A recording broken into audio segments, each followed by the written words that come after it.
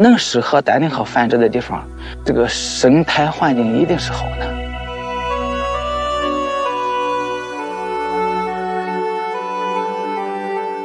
凌晨四点多，负责鸟类监测的张树岩就出发了。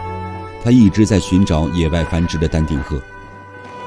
每年的二三月份，越冬丹顶鹤就会离开黄河三角洲。大家普遍认为。这里并不是他们传统的繁殖地。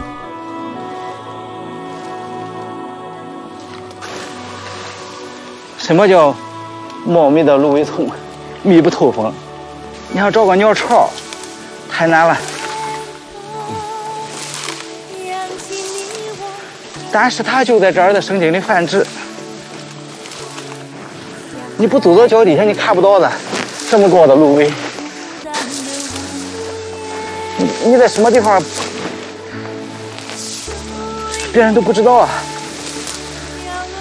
甚至都没有手机信号。哎哎哎哎哎！悄悄的，那边还有啊！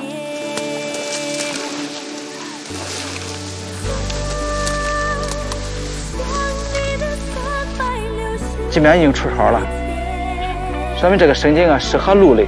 适合鹿类啊，它应该也适合丹顶鹤在这儿繁殖，它就这样的生精，是吧？芦苇沼泽。哎，我就怕蚊子，蚊子是最难对付。比如说你飞到无人机了，或者拿着相机了，咬得你浑身难受，你你招架不过来，你知道吗？张树岩要去的地方是黄河岸边的滩涂，他认为野生丹顶鹤。最有可能在那里繁殖。哎，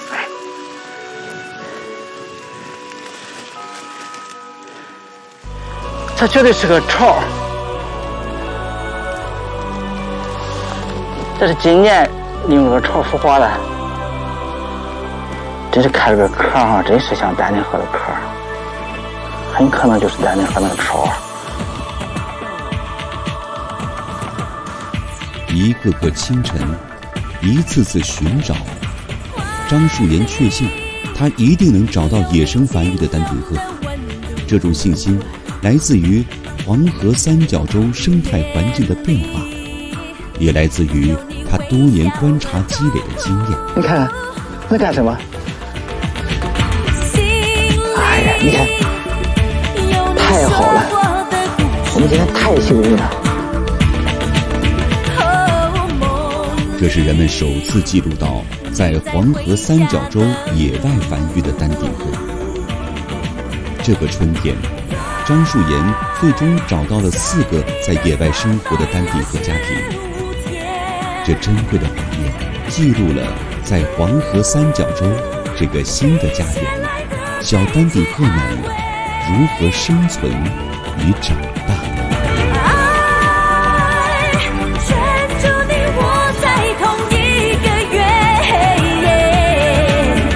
能适合丹顶鹤繁殖的地方，这个生态环境一定是好的。